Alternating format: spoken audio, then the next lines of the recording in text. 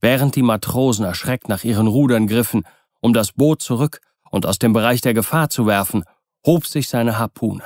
Und noch war der Leviathan der Tiefe nicht wieder verschwunden, als auch schon das Eisen ausflog und sich tief in dessen Weichen bohrte.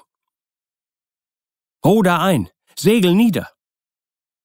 Wie eine Schlange glitt er zurück, während der junge Harpunier, der seine erste Reise in dieser Eigenschaft machte, vor Eifer zitternd nach vorn sprang und die schon bereit liegende Lanze aufgriff.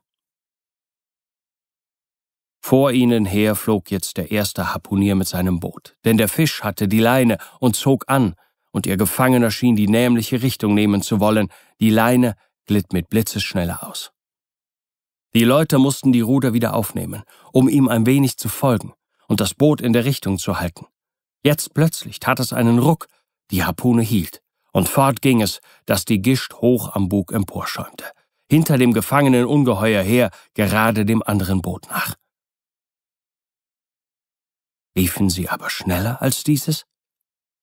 Rasch näherten sie sich ihm, und als sie vorüberflogen, wie von einer Dampfmaschine getrieben, hörten sie nur noch, dass der alte Harpunier darin fluchte und wetterte und seinen Leuten befahl, die Leine einzuholen. Die Harpune musste aus dem Speck gerissen sein, und der Fisch war jedenfalls freigekommen. Sie hatten aber natürlich keine Zeit, sich damit aufzuhalten. Im Schlepptau des Wals flogen sie nur so über die wenig bewegte See, immer genau ein und dieselbe Richtung einhaltend, gen Osten zu. Übrigens sahen sie, dass eins der Boote, es war das des zweiten Harpuniers, sich gewendet hatte und mit vollem Segel hinter ihnen dreinkam, um ihnen vielleicht den Fisch sichern zu helfen, denn der erste Harpunier hatte noch eine ganze Weile damit zu tun, um seine Harpune wieder an Bord zu holen.